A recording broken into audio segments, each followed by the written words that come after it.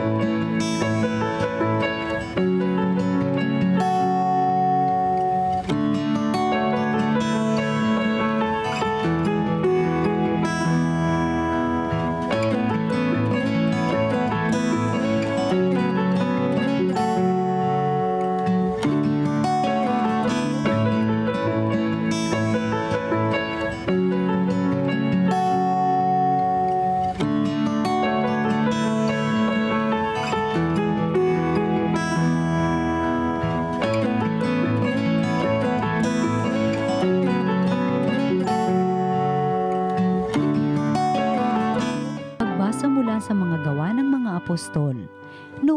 araw na iyon, sinimulang usigin ni Haring Herodes ang ilang kaanib ng simbahan.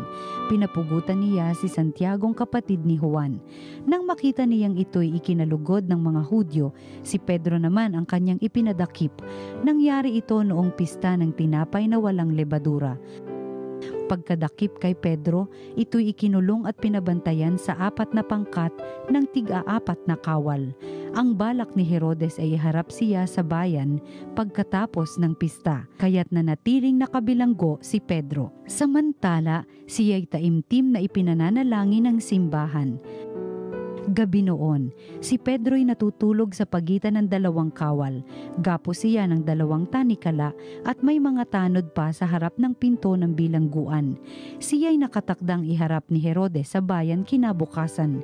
Walang ano-ano'y lumitaw ang isang anghel ng Panginoon at nagliwanag na mabuti sa silid piitan. Tinapik niya ang tagiliran ni Pedro at ginising. Bumangon ka, dali, wika ng anghel. Pagdakay nakalag ang mga tanikala sa kanyang mga kamay.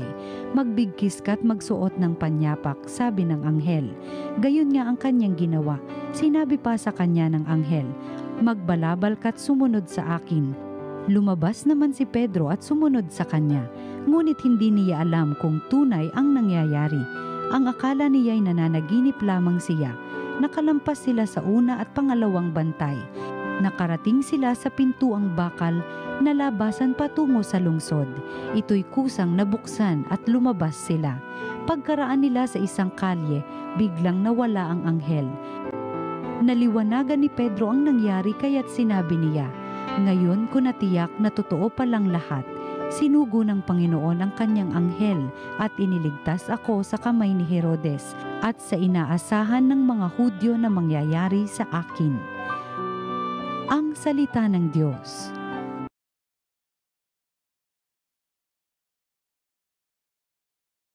Ang Diyos ang siyang nagligtas sa aking takot at sindak. Panginooy aking laging pupurihin sa pasasalamat di ako titigil, aking pupurihin kanyang mga gawa, kayong naaapi makinig matuwa. Ang Diyos ang siyang nagligtas sa aking takot at sindak. Ang pagkadakila niya ay ihayag at ang ngalan niya ay purihin ng lahat. Ang aking dalangay dininig ng Diyos na wala sa akin ang lahat kong takot. Ang Diyos ang siyang nagligtas sa aking takot at sindak. Nagalak ang aping umasa sa Kanya pagkat di nabigo ang pag-asa nila. Tumatawag sa Diyos ang walang pag-asa, sila'y iniligtas sa hirap at dusa. Ang Diyos ang siyang nagligtas sa aking takot at sindak. Anghel yaong bantay sa may takot sa Diyos. Sa mga panganib sila'y kinukupkop. Ang galing ng poon hanaping masikap. Yaong nagtiwala sa kanya't nagligtas ay maituturing na taong mapalad. Ang Diyos ang siyang nagligtas sa aking takot at sindak. Pagbasa mula sa ikalawang sulat ni Apostol San Pablo kay Timoteo. Pinakamamahal, ako'y iaalay na dumating na ang oras ng pagpanaw ko sa buhay na ito. Puspusan akong lumaban sa paligsahan, natapos ko na ang dapat kong takbuhin, nanatili akong tapat sa pananampalataya. Kakamtan ko na ang korona ng pagtatagumpay at sa araw na yaon, ang Panginoon na siyang makatarungang hukom ang magpuputong sa akin ng korona, kundi sa lahat ng nananabik sa muli niyang pagparito ngunit pinatnubayan ako ng Panginoon at binigyan ng lakas upang maipahayag sa mga hintil ang salita. Naligtas ako sa tiyak na kapahamakan, Ang Panginoon ang magliligtas sa akin sa lahat ng kasamaan at siya rin ang maghahatid sa akin sa kanyang kaharian sa langit. Purihin nawa siya magpakailanman. Amen. Ang Salita ng Diyos. Salamat sa Diyos. Ang mabuting balita ng Panginoon ayon kay San Mateo. Noong panahong iyon, dumating si Jesus sa lupain ng Cesarea ng Filipos. Tinanong niya ang kanyang mga alagad, sino raw ang anak ng tao ayon sa mga tao? At sumagot sila, ang sabi po ng ilan ay si Juan Bautista kayo, sabi naman ng iba si Elias kayo. At may nagsasabi pang si Jeremias kayo o isa sa mga propeta. Kayo naman, ano ang sabi ninyo? Sino ako? Tanong niya sa kanila. Sumagot si Simon Pedro, Kayo po ang Kristo, ang anak ng Diyos na buhay. Sinabi sa kanya ni Jesus, Mapalad ka, Simon na anak ni Jonas, sapagkat ang katotohanan ito'y hindi inihayag sa iyo ng sino mang tao, kundi ng aking amang nasa langit. At sinasabi ko naman sa iyo, ikaw ay Pedro, at sa ibabaw ng batong ito ay itatayo ko ang aking simbahan, at hindi makapananaig sa kanya kahit ang kapangyarihan ng kamatayan. Ibibigay ko sa iyo ang mga susi ng kaharian ng langit. Ang ipagbawal mo sa lupa ay ipagbabawal sa langit, at ang ipahintulot mo sa lupa ay ipahihintulot sa langit ang mabuting balita ng Panginoon. Pinupuri ka namin, Panginoong Heso Kristo. Magandang araw po sa inyong lahat. Ako po si Father Herbie Santos ng Diocese of Cubao. Welcome to Salita ng Diyos, Salita ng Buhay.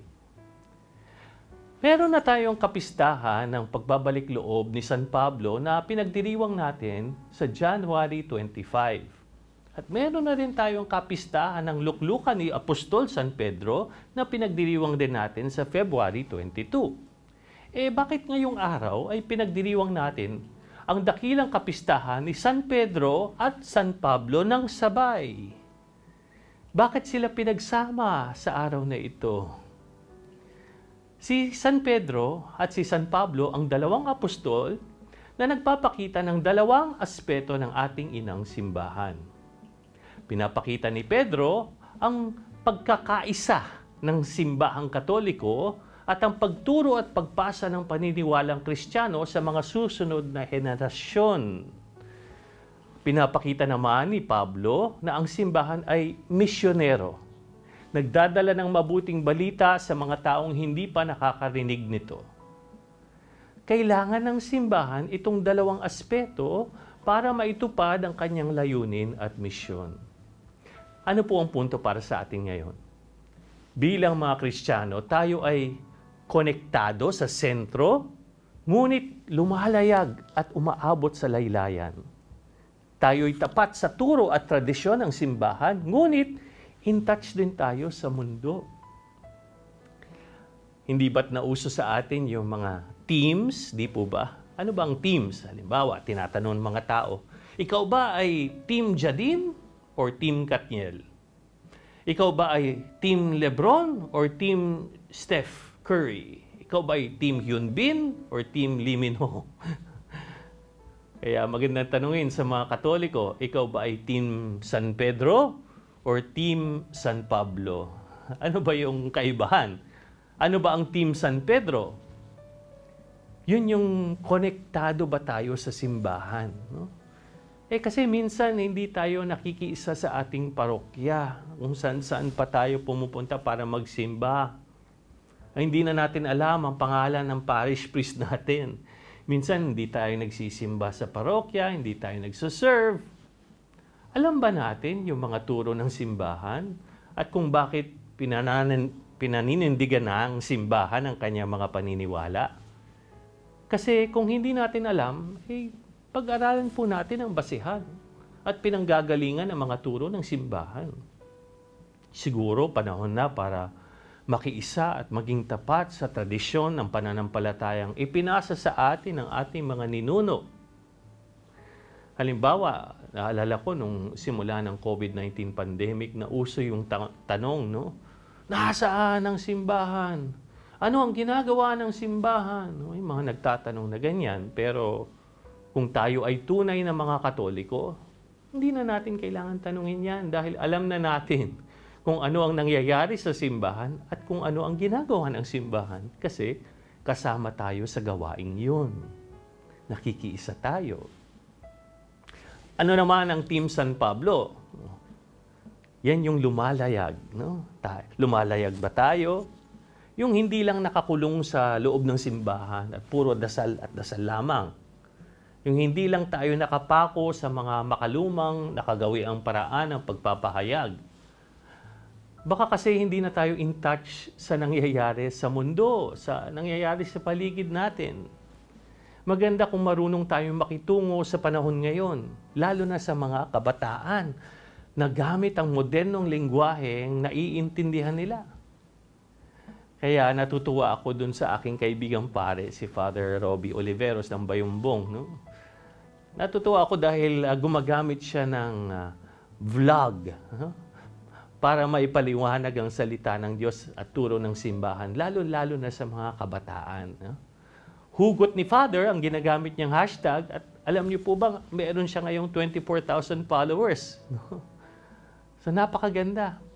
Kaya, Team San Pedro, o Team San Pablo ba tayo? Ano ang tamang sagot? Dapat both tayo. Dapat pareho. Kaya magandang tanungin natin sa ating sarili. Paano ko sinisiguro na alam ko ang mga tradisyon at turo ng simbahan na pinananaligan ko? At paano ko pinapahayag ang mga turong ito sa mundong ginagalawan ko ngayon?